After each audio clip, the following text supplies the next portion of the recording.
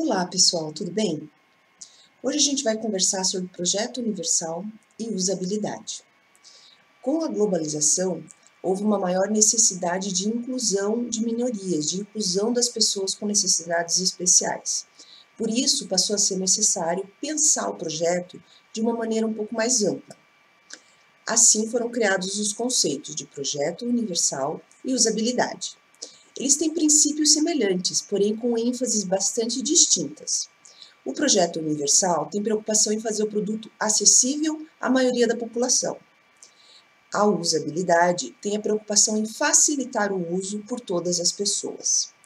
Naturalmente, produtos universais acabam tendo uma boa usabilidade e vice-versa.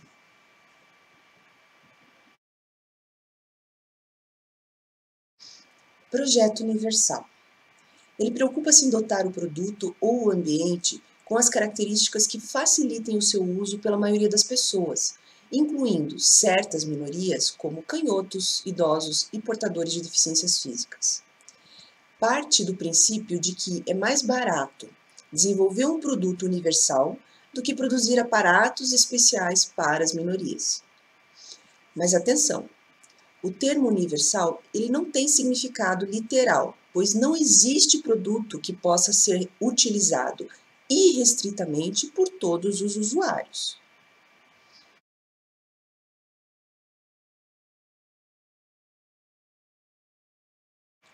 Princípio 1. Uso equitativo. O produto deve ter dimensões, ajustes e acessórios que permitam atender o maior número possível de usuários deve permitir a todos os usuários o uso de forma idêntica ou equivalente. Ele não deve segregar ou estigmatizar qualquer usuário menos capaz. A segurança, proteção e privacidade devem estar igualmente disponíveis a todos os usuários. Então, vamos ver o exemplo de um produto que atende os requisitos do princípio 1, uso equitativo. Conversível é uma escada conceitual de fácil utilização que pode ser transformada em uma rampa. É uma ideia engenhosa concebida para ajudar pessoas idosas ou qualquer um que tenha dificuldades de locomoção a subir as escadas com facilidade e conveniência. Também para aqueles que precisam carregar itens pesados, eles podem usar um carrinho sem nenhum problema. Este conceito de escada visa minimizar quedas e lesões acidentais. Simplesmente empurrando uma alavanca, o lance de passos muda e se torna um declive. O dispositivo foi projetado para um baixo custo de construção, fácil instalação e manutenção mínima.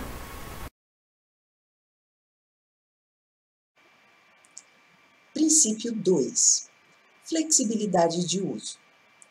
O projeto deve acomodar uma ampla gama de habilidades e preferências individuais de modo a possibilitar o uso aos destros e canhotos, facilitar o uso preciso e exato a todos os usuários, possibilitar a escolha do modo de usar e adequar-se às forças e ritmos próprios de cada usuário.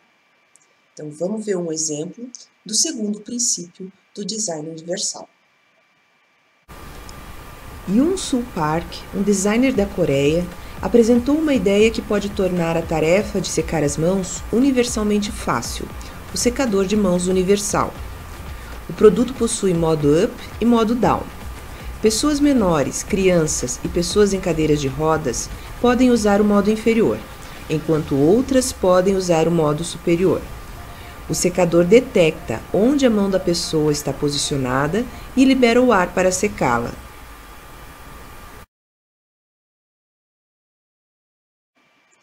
Princípio 3.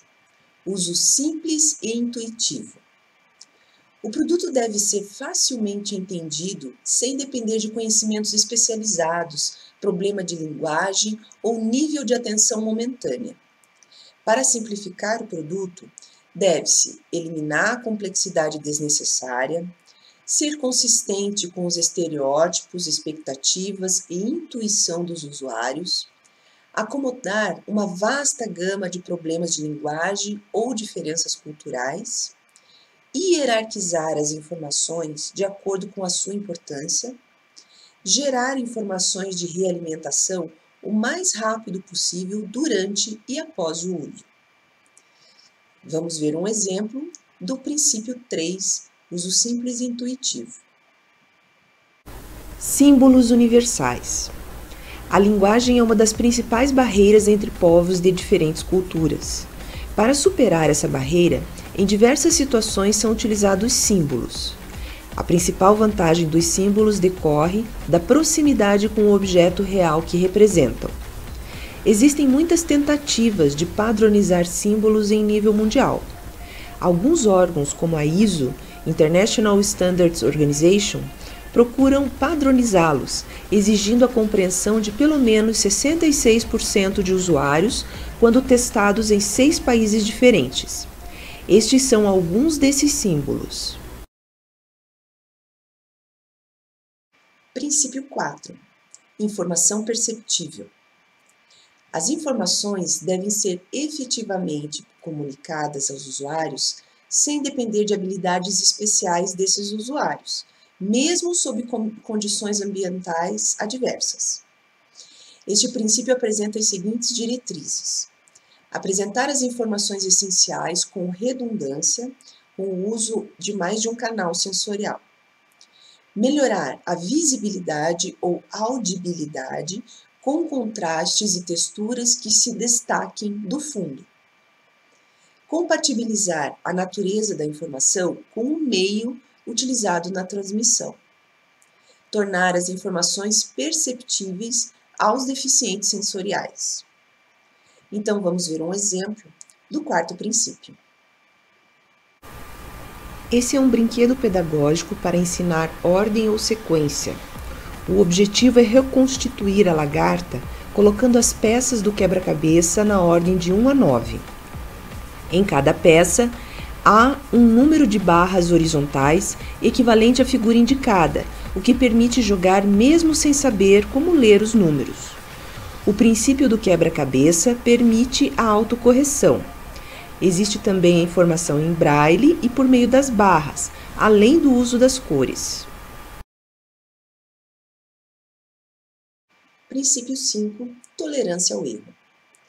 O projeto deve minimizar os riscos e as consequências adversas das ações involuntárias ou acidentais dos usuários. Para isso, ele deve reduzir a sensibilidade exagerada dos controles, arranjar os controles de forma lógica, isolar ou proteger aqueles que são mais perigosos, desencorajar ações inseguras em tarefas que exijam habilidade e vigilância providenciar advertência para erros e acionamentos involuntários.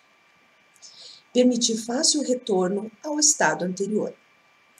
Então vamos ver um exemplo do quinto princípio. A extensão é projetada para se encaixar nas tomadas elétricas existentes e possui um eletrodo magnético anular para que o plugue permaneça fixo no soquete. Etiquetas em braille permitem identificar o aparelho que está sendo conectado.